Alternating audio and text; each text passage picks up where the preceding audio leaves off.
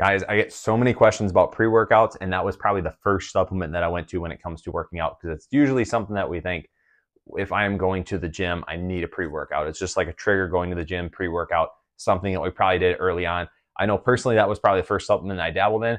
And one of the ones that I want to talk to you about is Megawatt. I've tried so many different pre workouts. So if you have questions, shoot me a message. But one of the things I love about Megawatt is quick energy and focus right off the get go.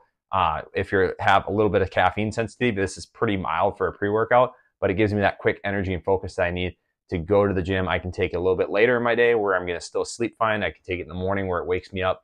And it just gives me that energy and focus that I need when I go hit a workout and gives me motivation of like a trigger saying, hey, taking pre workout, I'm going to go do a good habit as far as exercising to help hit my goals. So if you guys have questions, let me know. Uh, and I hope this helps you. If it does, share it, tag it, somebody that has a pre workout question, and more series to come on the different supplements I've taken over the time.